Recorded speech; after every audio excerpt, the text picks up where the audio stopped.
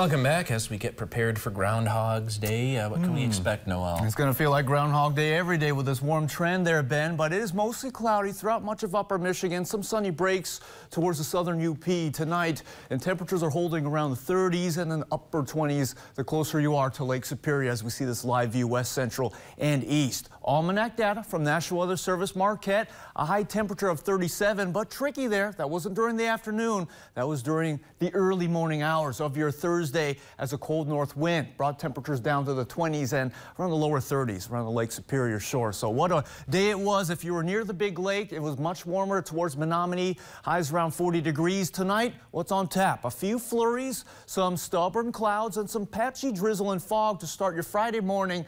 Blustery too, but it's going to be a sunnier turn towards the weekend. We're expecting a lot of sunshine tomorrow afternoon. It'll be milder on the side of our temperature scale.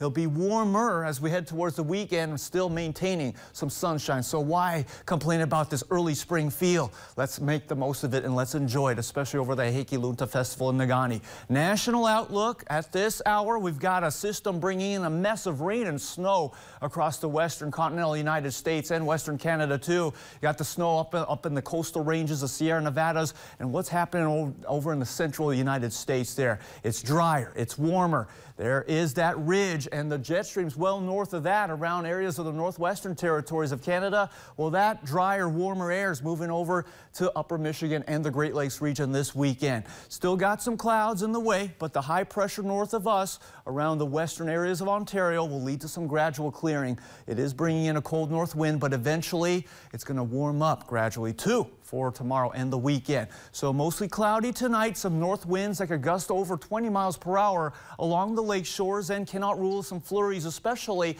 near the Lake Superior shore, the northern half of upper Michigan. And then that gradual clearing comes as we get to the lunch hour tomorrow, some southeast winds to trigger in some of that warmer, drier air.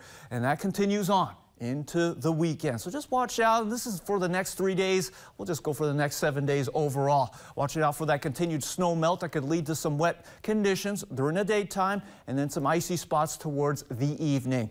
Tonight's lows all across the shorelines around the 20 degree mark. Some areas along the interior, especially if the clouds start to break up, could dip down to the single numbers, patchy fog and drizzle, and then some sunshine for your Friday, some light southeasterly breezes. A few highs could get to that 40 degree mark, whether you're along the shores or along the interior of upper Michigan. Your TV6 extended forecast, Groundhog Day tomorrow. I'm excited about Punxsutawney Phil's prediction there, Ben, but we're still in for our warm stretch. We'll look for a change, though, next Thursday. I feel that might open the door to colder, snowier weather here in upper Michigan. Yes, I got your white out here, Noel. I think I'm going to get rid of the fours and threes, and then we'll have a Thanks, nice cold ben. time. Uh, one question, real quick. Did you, uh, do you still dial up the heater?